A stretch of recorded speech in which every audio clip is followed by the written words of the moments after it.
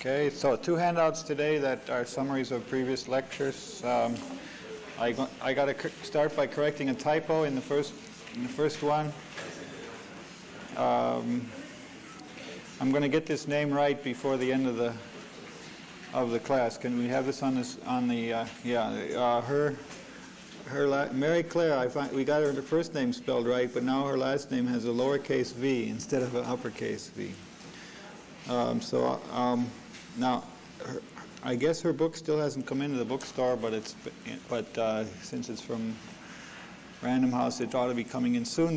but I think uh, there's a rumor that both Stacy's and Printers Inc. do have copies. And so, so uh, you, instead of going to the Stanford bookstore, there's other bookstores around that would probably have it. Uh, but you, but uh, uh, a little bit more waiting should should do also. For, um, now, Mary Claire is, uh, uh, has told me a wonderful thing. She will help read your uh, term papers and the drafts of your term papers uh, for, for to give you feedback. So, uh, so we're going to have a real expert um, um, pitching in on the on the grading for this course. Okay, now let's see. Anything else? Old business. I I wanted to talk today about some experiences on what I call literate programming and show you uh, some of the ways in which people um, are, are groping with uh, finding a style when, you, when you're using a new form of expression. And I think this is kind of interesting to see the evolution that goes on. I know it, it certainly happened in my own case.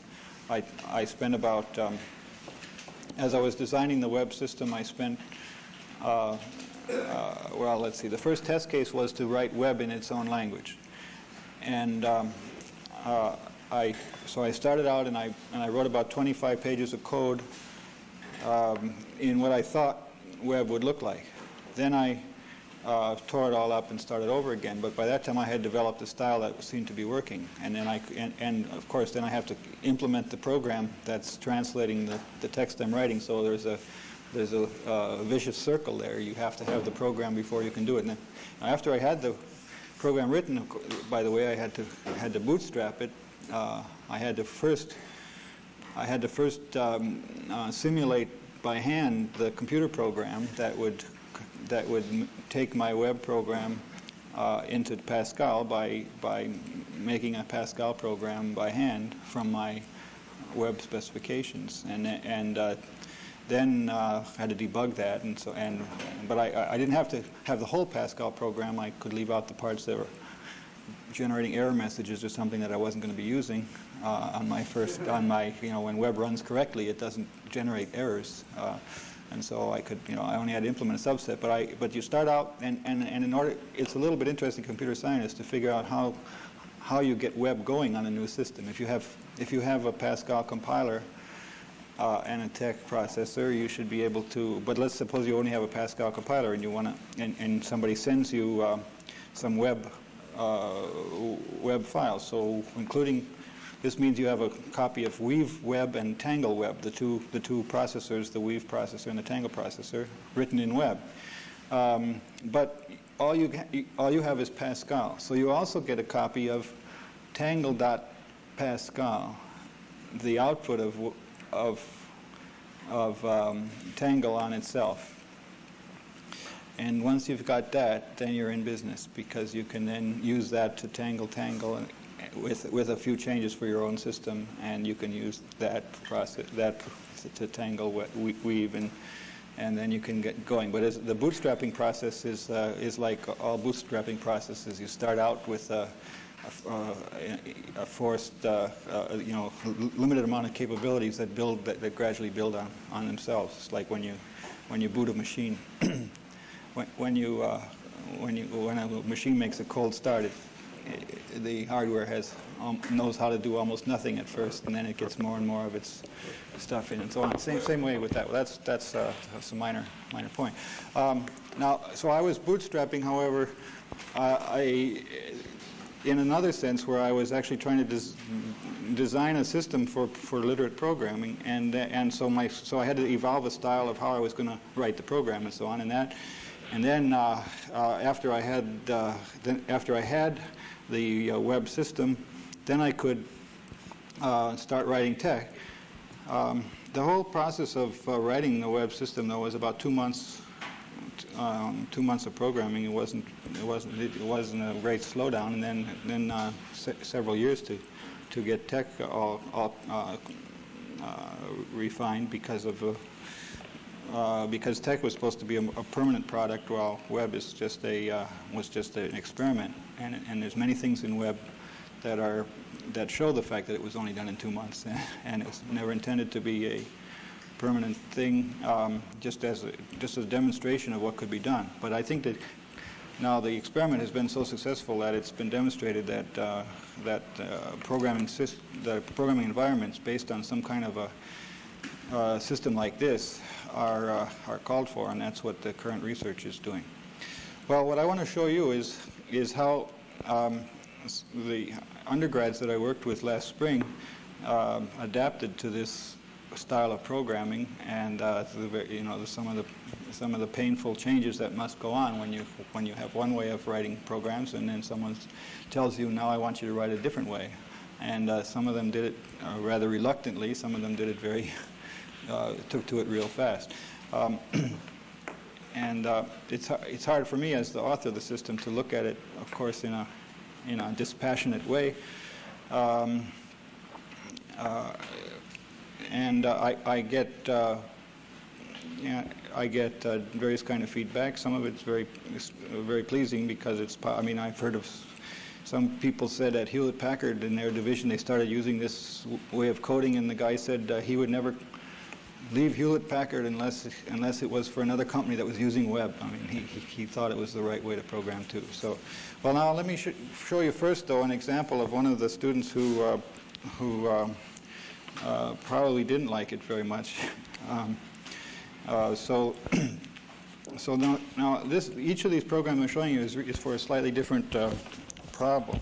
Problem, and uh, the idea is that the students are writing programs that are going to be that I'm going to eventually rewrite as part of a larger project. But I wanted to get uh, I wanted to get their their input and, and ideas on the on how, how to how to do it.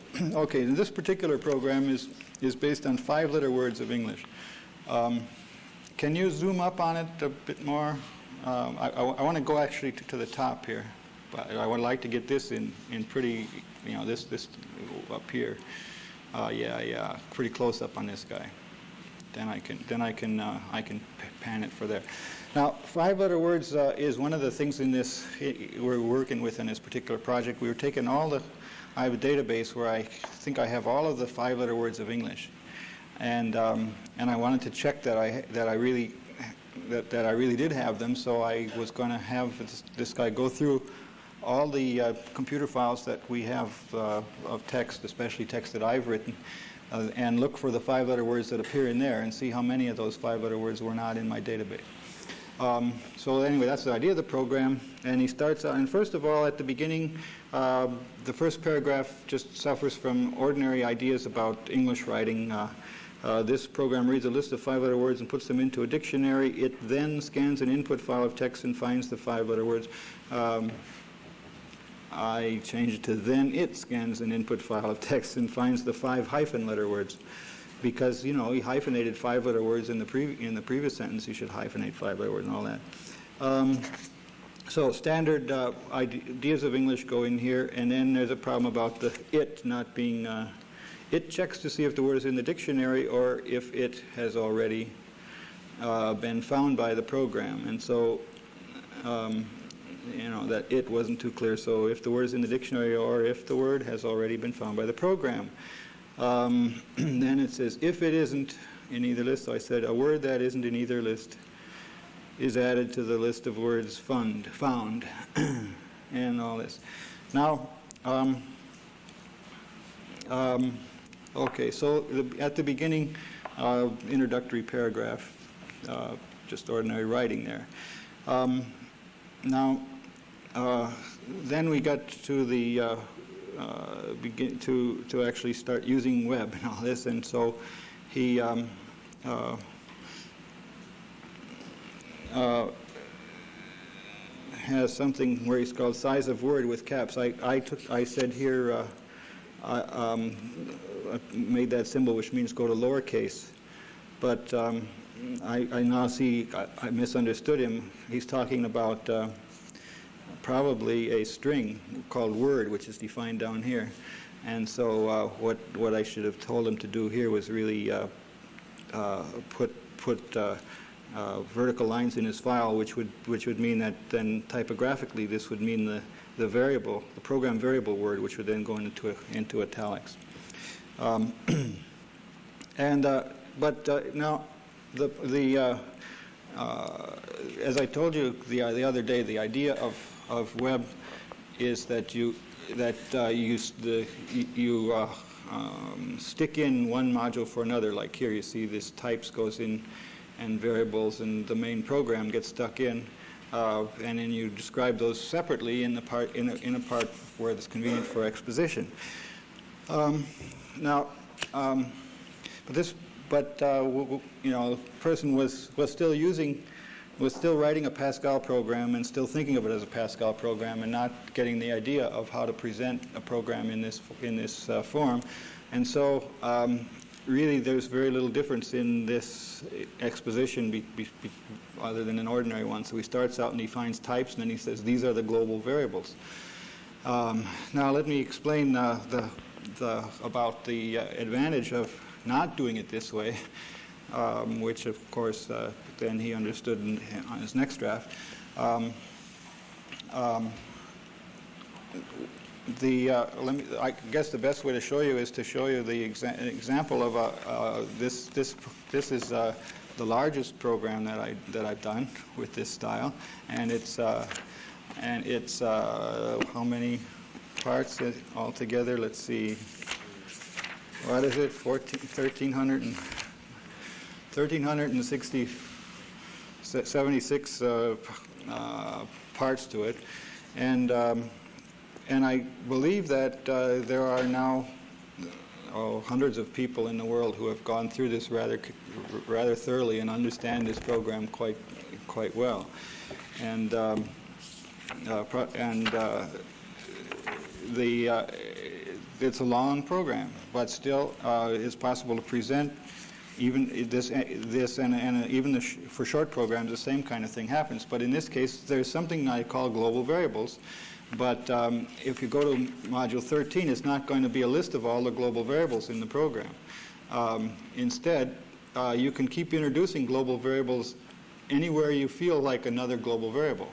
And so um, uh, let's look at section 20, for example. Section 20 is where I get some, some, some global variables. Now, this is a feature of web I didn't talk about on Monday, and that is that you can have many different sections with the same name. So section 20 has got this name. The, the, the, the, Pascal code in section 20 is global variables. The Pascal code in section 13 was global variables. And the first, and, and they, they all get collected into the program in, this, in, in one place, but you, you keep on adding to this part of the program every time you, you have another global variable you want, you, would, you, you introduce a new, a new global variable.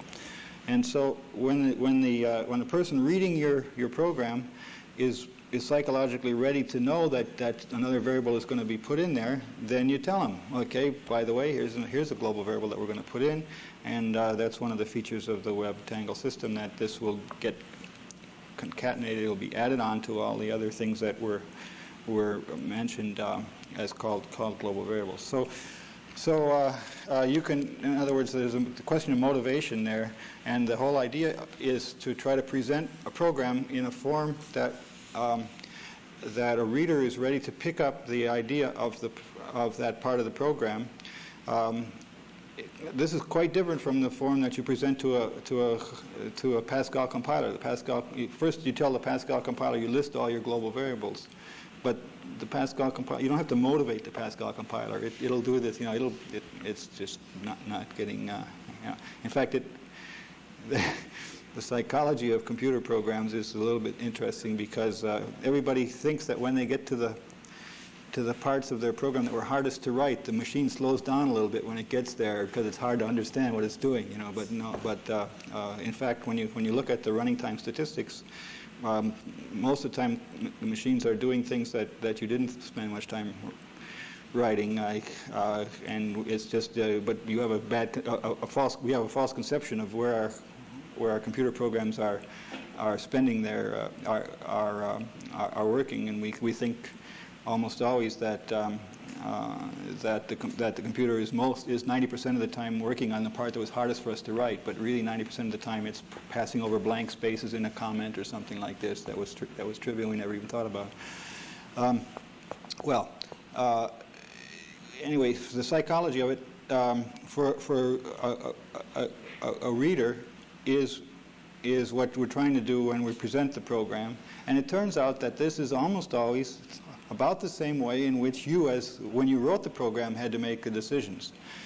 About the time when you were writing the program and decided to have a global variable named something is about the time that if somebody reading the program is going to want to know uh, that there should be this, this, this, this global variable or whatever decision, other decision you're making about a data structure or so, so on. So the, this uh, stream of consciousness order of presentation of, uh, how, of how to present the the program to a reader that the reader can understand what the program does is, is rather close, I believe, to the order in which you actually made those decisions yourself as you were writing the program.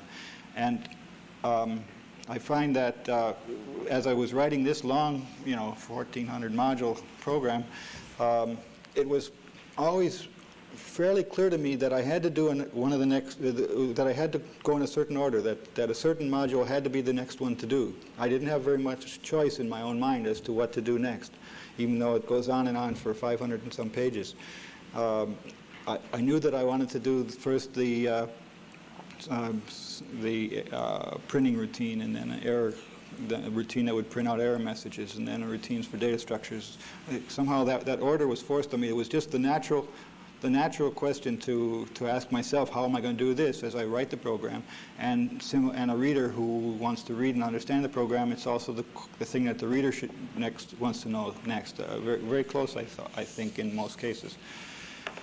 Um, so, uh, but here's a, here's an example where web isn't being used. It's just it's just being used as a formatter for for, for making uh, somewhat better comments. But but the order of presentation hasn't been hasn't been lot, uh, hasn't been caught here.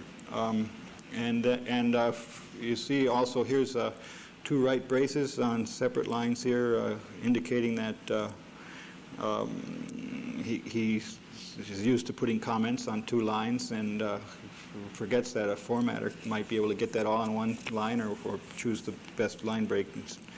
Um, okay, now let's see. Um, so I'm starting out with showing you the, uh, the learner's experiences with this, and uh, uh, minor problem here is uh, put a hyphen at the end of a line, and the word processor thought that the, you know always puts a space after that too.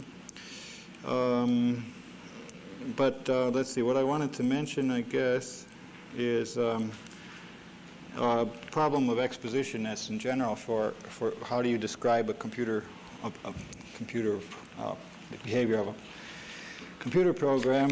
Uh, are, are, we, are we running the, is, is, the, is the program off there running itself, uh, some automaton doing the thing, or are, are we part of the action? Are, are, we, are we participating in the program somehow? Uh, that's livelier to do the, to put us into in the picture um, and uh, so probably we get, there's a, so probably, so here you see, see if we have already found this word in this, in this file.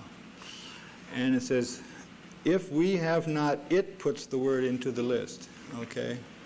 Now, you know, he, it was a dilemma in his mind which way it was going to be, but I think you go with we on this. Uh, when, you're, when you're part of the program, uh, I think we're participating. So it's not only a dialogue, um, author and reader as a team here, but really we're also collaborating with the, we're, we're also uh, uh, carrying out the uh, algorithm as we're, as we're doing it, I think. And so, um, so see if we have already found this word in the file, so I rewrote it saying, if not, we put the word into the list of new words found. Okay, and then we say we keep finding five-letter words and checking them until the end of the file in, is reached. Okay, so now um, another thing. Uh, in this style of programming, uh, one of the main ideas of, uh, I guess the main idea was to understand a complicated thing locally by understanding uh, each part uh, and then how those parts relate to each other. One and one of the keys then is to put a name into each part. So here we have a name of the main program, and then that invokes other parts. One called uh, puts the word into the dictionary, and here was one called store the new word in the list of new words. Now, you know, we should try to think of a style that's consistent here. Puts the word into the dictionary is a uh, is a uh, I, what's the proper technical word for this? Uh, it's a you know it's a it's a description or something that puts the word in the dictionary. But here we have a definite imperative. Store, you know, it starts out with a with a verb uh, saying do it. And I, I, I think that that tends to work out best. Uh, say put the words into the dictionary. So, so I would start out with an imperative, and uh, it seemed to be best for me to capitalize it in that case, uh, like the main program. Now, the main program was not a, an imperative. It was a, a it was it was a, it was declarative, um, and uh, there's different parts of the of the code that are imperative and, and declarative. For example, global variables, that's declarative. You're declaring a global variables. Um, but when you, so, so if you want to be imperative, you'd say do the main program. But the main program is really a piece of text. It's, an, it's, a, it's a declarative thing. Something is there. But when you start out with an imperative verb, you're saying this is a bunch of commands that are, that are being executed. So I think it's a good a good idea to, to, to have that uh, uh, convention that you start out with an with an imperative verb when you when uh, the module in question is is commands. Start out and but start out with something you know the main program something just plain old declarative. Just give a noun. Uh, when it's uh, when really the, the module consists of a uh, piece of text that sort of has the has a declarative function, although the main program then in, the text actually is actions. Um, the uh, uh, there's a way to to have what what long identifiers. Now he's got things called out file, in file, get word, find in dic, find in new words, um, and uh, a lot of times people will use a convention in their uh, in their text files. Now, when you have a long compound identifier made up of several words, to uh, capitalize each word afterwards so that you get in, so that uh, you can see where they where they break up. Well, he, this one, of course, was a little inconsistent there. This finding was would have put an I in there. Um, personally, I find that that that that looks bad typographically. When, uh, these these fonts of type that have evolved over many years were never intended for an uppercase letter to be following a lowercase letter, and it doesn't, and they, they don't usually look very good in that in that way. It's not too, not too bad on a typewriter and a, and a terminal. When, um, but uh, um, uh, so anyway, I, uh, the web system has a has a way to uh, to make compound words that looks better typographically, I believe, and we'll see a lot more examples of it, where you would actually would actually say get word with a little line in between, tying the tying the two together. Now Pascal doesn't allow this little line as part of a the name of an identifier, but Tangle takes it out. And, uh, but it's still, you, you, can put it there in your input file. And uh, it tends to make the program look better, I think, a lot better uh, when, you have a, when you have a compound name. And, and I think you do need compound names. Uh, it's impossible to, uh, to, to, find one word always that will describe everything in a long, in a long program. Um, and along, in fact, some people uh, I think it was this was an innovation of the Digitek. The people um, um, it's called Digitek Corporation, who, who, made a lot of waves in the early '60s by having the best compilers on the market. And their style of programming was to have identifiers that were about 40 characters long and each, but each one was sort of a, a, short story telling you exactly what they, all the invariants and everything were encoded in that identifier and, and whenever you and uh, I don't know how they got the typist to type all these things over and over again, but uh, but it was very clear reading the code what it, what what the meaning of every variable was. Uh, that was uh, an extreme, but uh, and then they didn't write any comments in their code at all. uh, um, okay, so that's uh, that's this. Now let's see. Um, so I would I would give I would have called this word underline list uh, as a better choice of name, I think. Um, okay, now, but uh, uh, evidently the capitalization means nothing to this person because here's a CH and a CH, both caps, and they must, must mean the same the same one. Now the comment that I gave him at this one is this mo module is completely unmotivated at this place. Also, it's misnamed as it merely skips over blanks. So the so the the uh, all of a sudden in the middle of this, after presenting um, after presenting two things here, which was fairly good. I mean, storing a new word, storing an old word. This was fairly reasonable parallelism. Um, uh, except there was no period there, but anyway, it was parallelism. Uh, but then all of a sudden we have another, a new, uh, something which is called skip to the beginning of the next word, and, and if you look at the code, it says, it just looks, it skips over blanks. Now, we're looking, we're reading an arbitrary text file, and um, the words in this text file are going to be, uh, this is going to be a technical concept. Word means something that is preceded by a non-letter and followed by a non-letter or something like that. I mean, a, a, word doesn't have to, know, there's, besides spaces, there's punctuation marks, parentheses, and all kinds of things in a file that aren't part of a word. And so um, when you say, if you would say skip to the beginning of the next word, you're talking about a technical thing a word, uh, a five-letter word that you're looking for in the file, and uh, this would that would then you would then skip over more than just blanks. But this is something that just skips over blanks, and it also uh, uh has another problem with with Pascal uh, that it assumes things that lot, that some Pascal compilers will will do differently than others for writing um, portable code, but that's another subject. Um, so there's no point in putting this module here uh, until we're ready for it. So, uh, okay, well, now let's see. Um,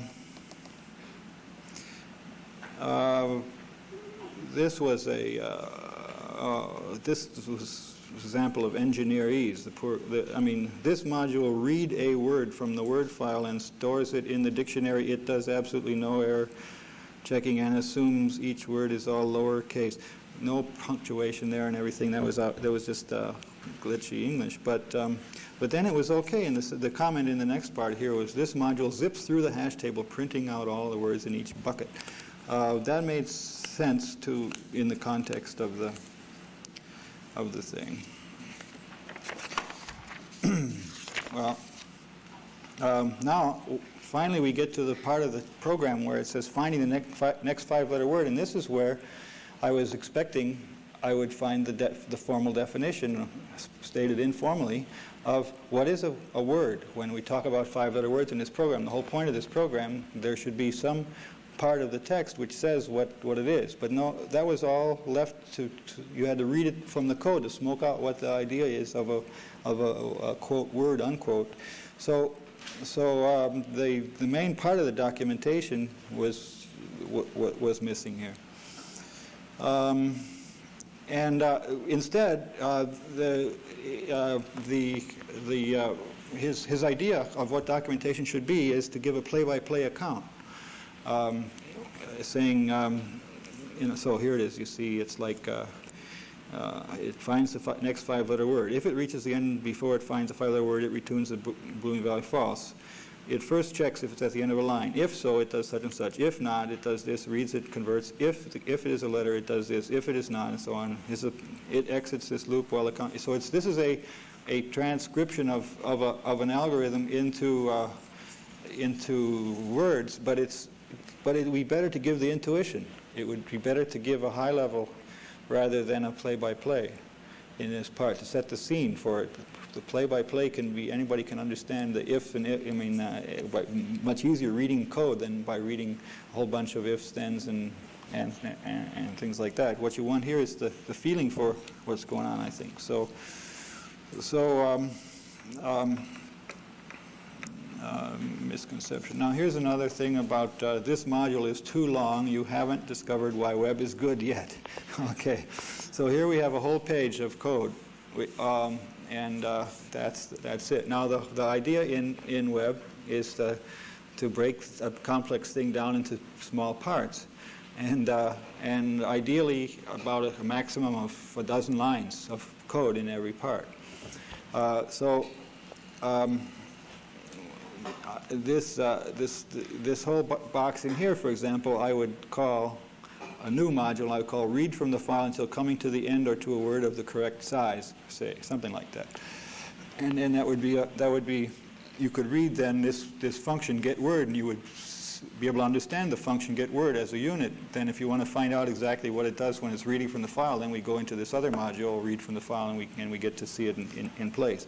Um, now, but here's, here's a strange thing, and I still don't know what happened, but he, I say, oh my, you've really broken weave. Um, this is all formatted wrong. I, uh, the, I have never seen my program do this before, and so somehow he, he, he must have inserted line breaks in his program or something that would uh, that would, would would cause the then to be on a separate line from the if and and the begins aren't lining up right. Everything is broken, and I have no idea. I've never seen this happen before, and I and the only way you can do that is by putting little hidden commands inside, saying uh, uh, do, do, do, something unusual, and and uh, so anyway, so that's all broken there. Um, well. Uh, that was one. So I was a bit discouraged when I saw that first one, but uh, things got better. Now another student here. Um, uh, this brings up some more uh, some more points about about uh, uh, the use of a new of a new system. Um, one of the one of the special things is that there's there's a, a a module can be given a title that's going to carry over for several other modules, and then that becomes a subhead at the top, like the program or something. Used it here. But, uh, but uh, the very first module, the student didn't use it, could have said introduction or something like that. So instead, we just got a, a, a sort of a default uh, subhead at the top. Um, uh, so I just, just suggest write that. But now here's, here's something more interesting. I think uh, um, he says, given a file name xxxxx.yyy, it will create a reverse file xxxxx.rev. Um, and these are all caps, maybe boldface, I don't know, but it doesn't look right in that font. Um, um, this is a variable width font, and and uh, and really, it would have been it would if you had written it in a typewriter style, it would have come out looking like some like the like the name of a file to me. okay, so. Now, uh, so this is a case where using the typewriter style of type, which which is is, is there, would would be a better. Uh, you know, better convention for referring to something that's a, a, name of a file, which is something that, that is a definite a typewritery um, thing. Um, now, again, this was the, this this is a freshman here who's writing his first short program in web. And uh, I'm expecting to find lots of things, of course, because I told him to just do, do something and let me criticize it. I didn't, t- I didn't tell him to spend much time polishing or anything. Don't, don't get the wrong idea here. Um, the first, uh, the modules here, one was called variables, one was called type, and, and I, you know, I said make them both plural if you're going to do that. Um, now, um, oh goodness, what was I going to say here? There's a bunch of things, but um, uh, I don't want to get into into unnecessary stuff. Here was a case again where where a, a long piece of code could be broken very nicely into two into two modules. So when I put this line around this business here, this mean this said this would now become a mod, another module called read the next line of input into data of counter and append a uh, percent sign. And then that would be the, then that module would do it. It would read the next line into it, and then there would be a corresponding one, write data as a new line of output. Um, and, and then I suggested there would be a parallel way to make an elegant code or something to look for anyway. Well, um, so that was simply a case of taking a large piece of code, then finding a small part that could be understood as a unit, and and uh, and unifying it.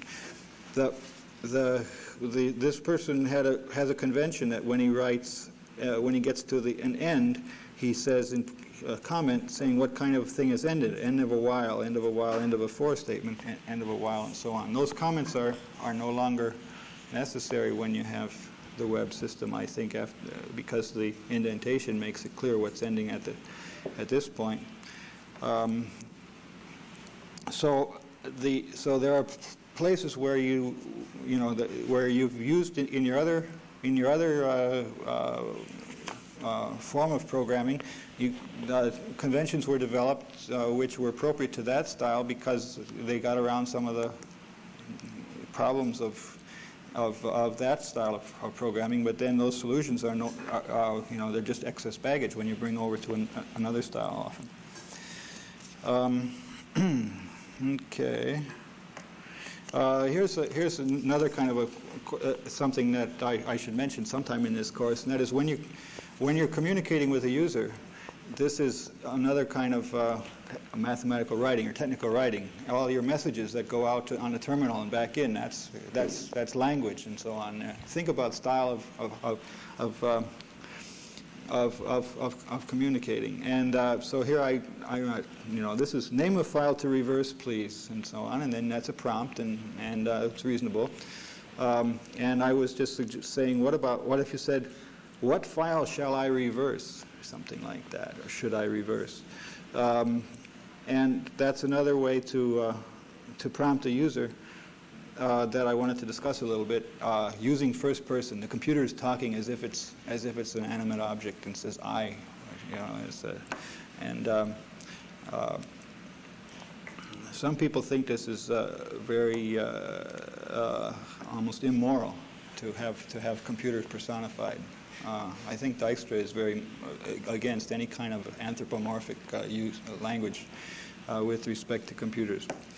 Um, but I think it's it, it's very effective, and uh, and I always think of uh, it when I'm when I'm talking about protocols or something. It's much easier to think about handshaking, and this guy says something to that guy instead of instead of saying this process says something to that process. It doesn't doesn't make any sense. You know, it's much more easy for me to conceptualize um, Alice and Bill making a, an exchange than than two uh, two abstract processes. And uh, so I, I, anyway I go for uh, using first person in, in communication with uh, with users uh, as a recommendation that, that I think works nice.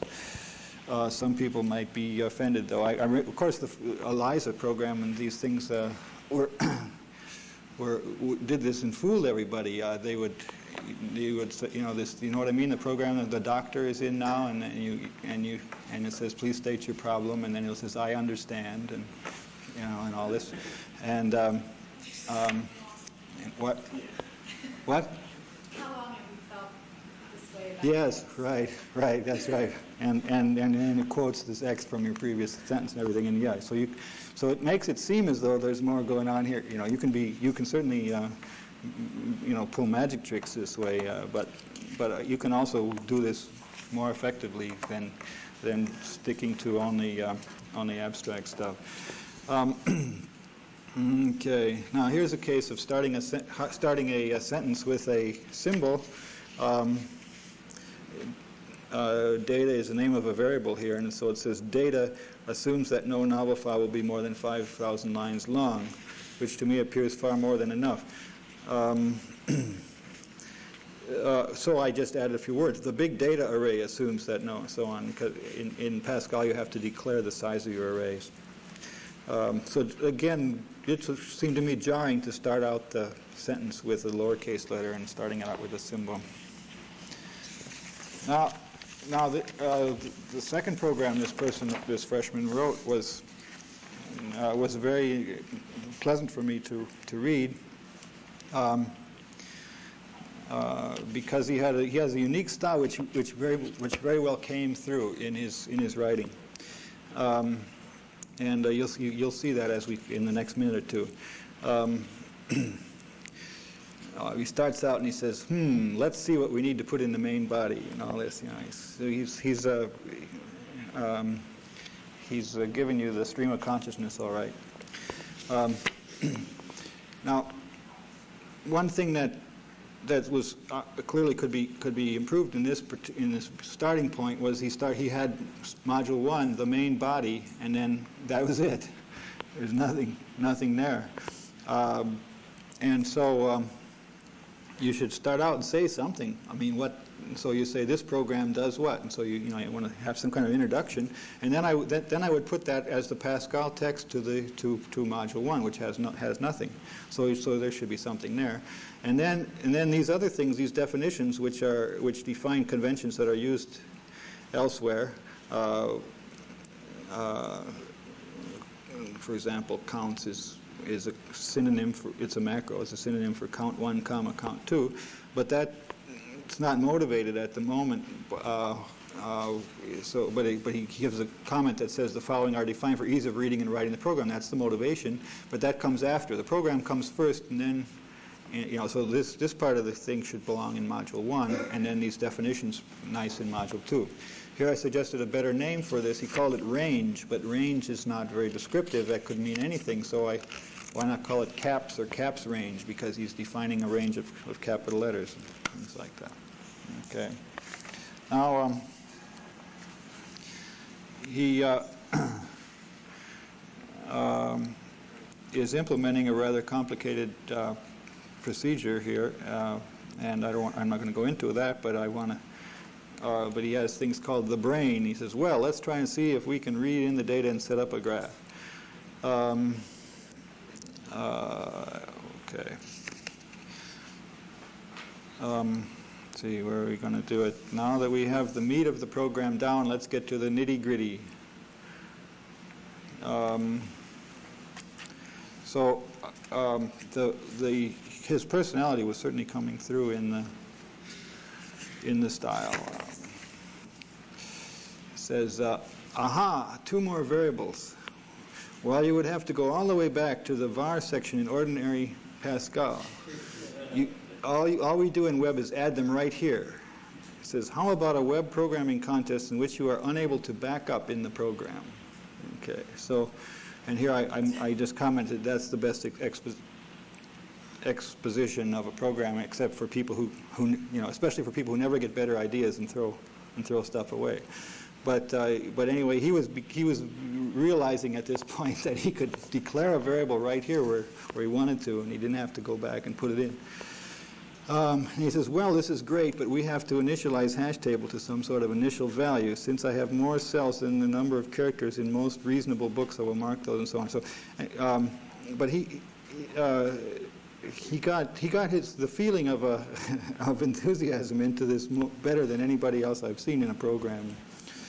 Um, uh, oh, I, I, his program is called Components, but at the beginning, but the name of the program here is Complements and uh, and I wondered why he called it complements. And finally, I I found out that they're both the same for him. complement and component are the same, and so I told him that I better that I had to warn him that those words are slightly different.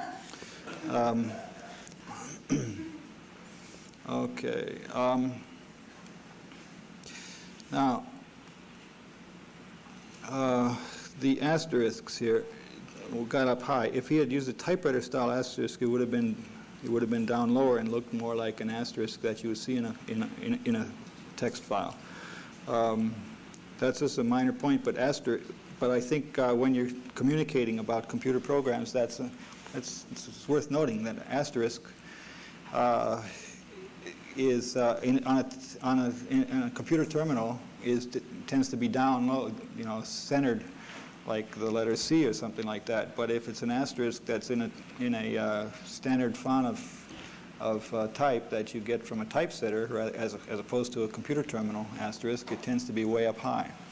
And if you've only got one um, uh, in a font, then uh, it's, it's it tends to be problems. That is, uh, uh, you, you, find when you start computer science writing that you're marking all the asterisks to be lowered to, to, to the printer if you, if you don't have if they don't already have a body-centered asterisk.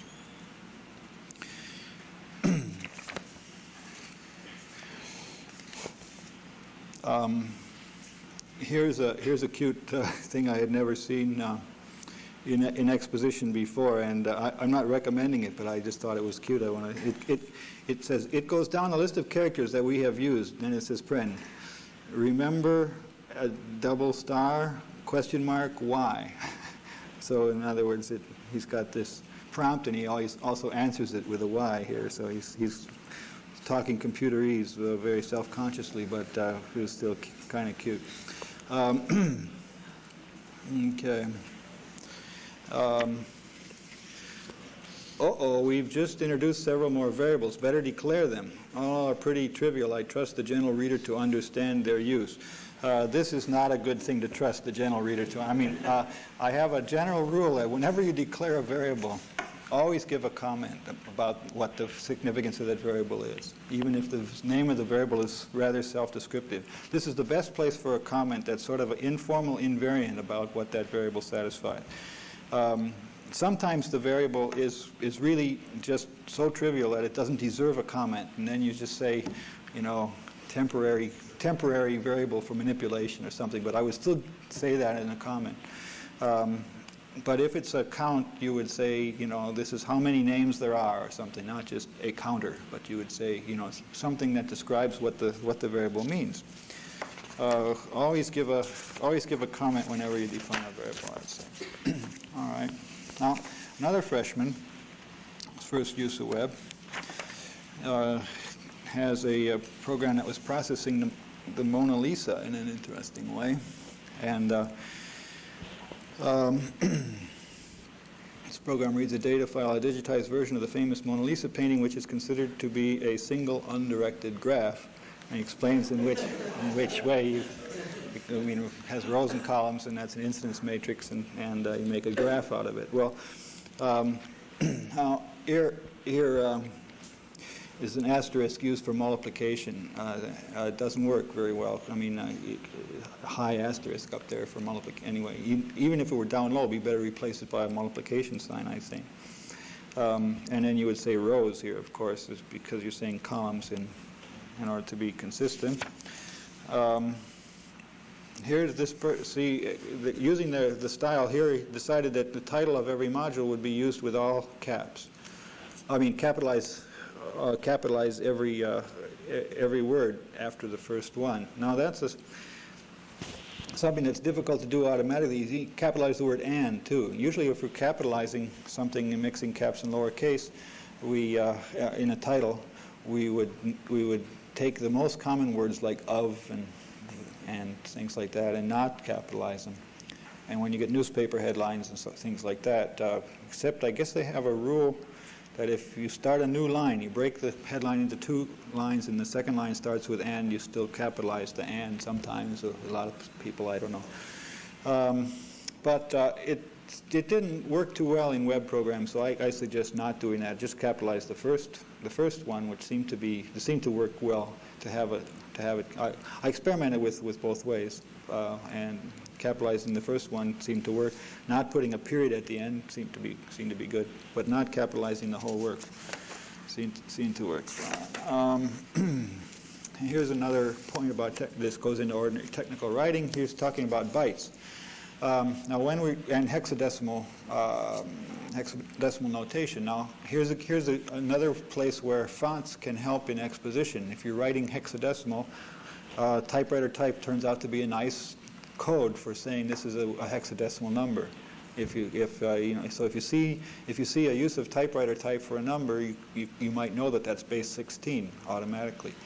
Um, uh, but now he did, he, he, he started, he had, a, he had it right at the beginning, but then he, he should have put the 63 in Roman. So here he has the 3F. This is in typewriter style. And he says 3F represents 63. That 63 should be ordinary Roman in decimal. So a normal decimal type normal decimal numbers in normal, in normal type. But, um, uh, but when you say double F represents white, double zero represents black, um, that those are in, in typewriter indicating these are, these are hexadecimal digits. Um, okay, worth, worthwhile. typewriter type seems to, seems to have a nice machine-oriented function to it that helps, helps distinguish itself here. Now, here's a, a matter of exposition. Um, we, he's got a, this is a, a fairly good-sized program. It's about 50, 57 modules.